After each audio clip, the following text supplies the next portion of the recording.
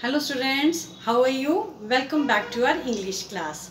Today student we will do revision of a grammar topic.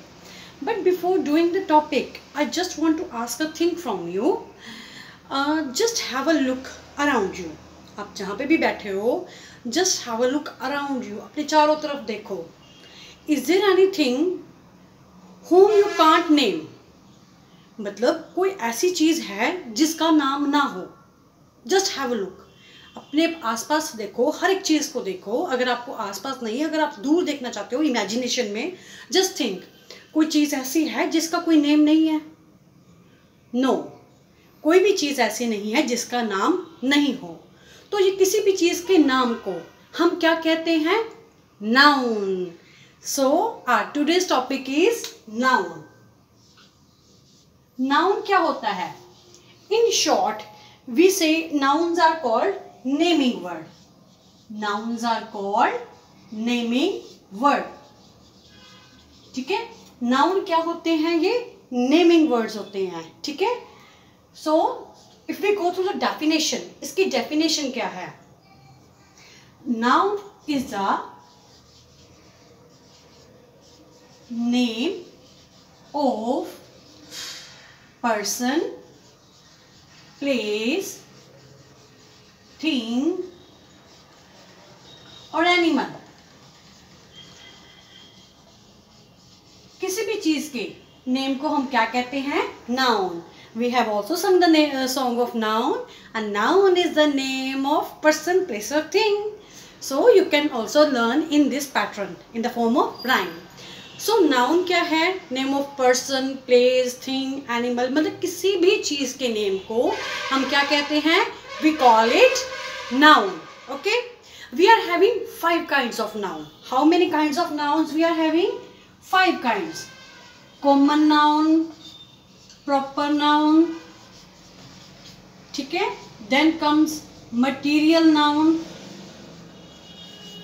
then collective noun and then abstract noun. We have five fingers and we are having five nouns. Common, proper, material, collective and abstract noun. Okay. These are the five kinds of noun. Okay. We will start with common noun. Common noun क्या होता है देखो बेटा common noun वो होता है किसी भी चीज़ के कॉमनली नेम को हम क्या कहते हैं कॉमन नाउन किसी भी चीज़ का कोई कॉमन नेम हो ठीक है? अब देखो कैसे? सपोज़ uh, आप रोड पे खड़े हो। आप कह रहे हो बॉय आपने बोला ना हे बॉय तो जितने भी रोड पे बॉयज़ खड़े होंगे वो सब आपकी तरफ़ देखेंगे ठीक है?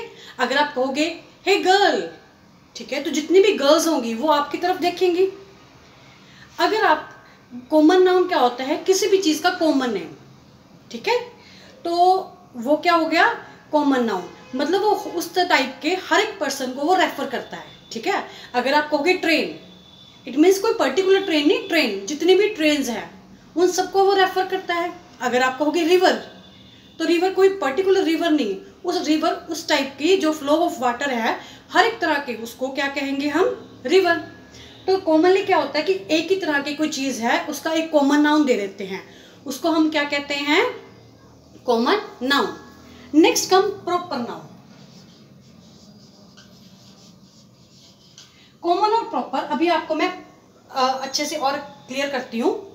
प्रॉपर क्या होता है बेटा? किसी चीज़ का प्रॉपर नेम अब आपको कॉमन और प्रॉपर में मैं डिफरेंस बताती हूँ। देखो अगर आप कहोगे बॉय तो वो तो क्या होगा एक कॉमन नाउन अगर आप कहोगे राहुल तो क्या होगा? प्रॉपर नाउन इट मीन्स आप पर्टिकुलर राहुल को बुला रहे हो, किसी एक बॉय को नहीं बॉय तो कोई भी हो सकता है, पर राहुल क्या है? प्रॉपर नेम अगर आप कहोगे रिवर तो रिवर तो कोई भी हो सकती है, ठीक है?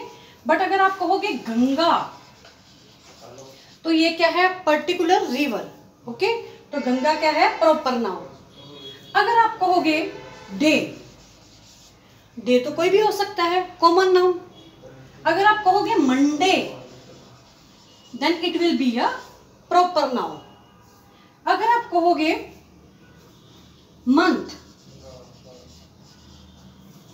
it can be common noun month तो कोई भी हो सकता है। अगर आप कहोगे जनवरी तो ये क्या है? Proper noun here in this way it is clear to you कि कॉमन नाउन क्या होता है और प्रॉपर नाउन क्या होता है। प्रॉपर से हम पर्टिकुलर किसी एक चीज़ की तरफ़ पॉइंट आउट करते हैं, किसी एक चीज़ को। हाईलाइट करते हैं कॉमन उस तरह के जितने भी होते हैं, उसको वो इंक्लूड हो जाते हैं।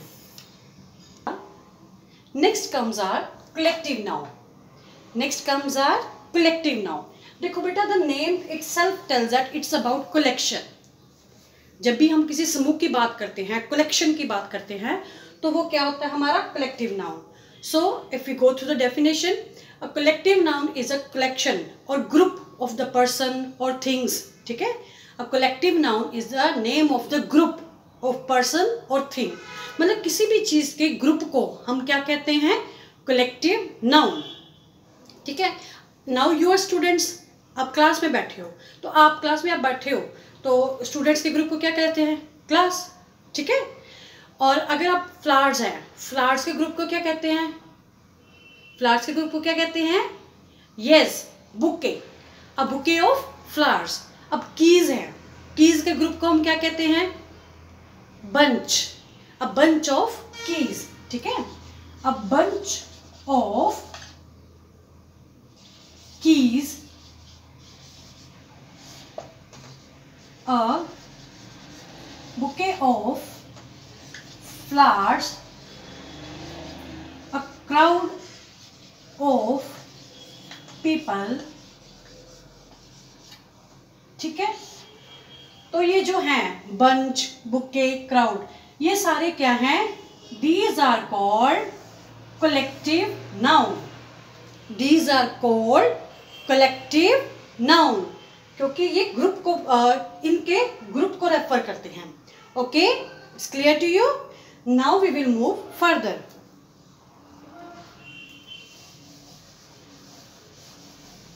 next comes material noun next comes material noun material noun is a name of a thing is a name of which a thing is made मतलब एक ऐसे मटेरियल का नेम जिससे कोई चीज़ बनती हो, उसको हम क्या कहते हैं? मटेरियल नाउन स्टूडेंट्स अक्सर इसमें कंफ्यूज होते हैं। मैं आपको एग्जांपल देती हूँ। जैसे वुड रबर ये क्या है? हमारे मटेरियल हैं। इनसे हम चीज़ें बनाते हैं। तो ये क्या है? मटेरियल नाउन ठीक है? अब देखो वुड है। वुड क्या है? मटेरियल नाउन पर अगर हम अगर टेबल कहें वुड से टेबल बनता है तो टेबल कॉमन नाउन है। ओके इस चीज़ में अक्सर स्टूडेंट मुझसे क्वेश्चन पुट करते हैं मैम टेबल तो वुड से बना है। तो टेबल क्या है? टेबल कॉमन नाउन है, जो मटेरियल होता है, जिससे कोई चीज़ बनती है। वुड मटेरियल नाउन है और टेबल क्या है? कॉमन ओके अगर हम कहें रबर रबर क्या है?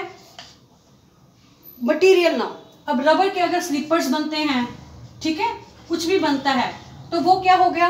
कॉमन नाउन ओके ग्लास है। ग्लास क्या है?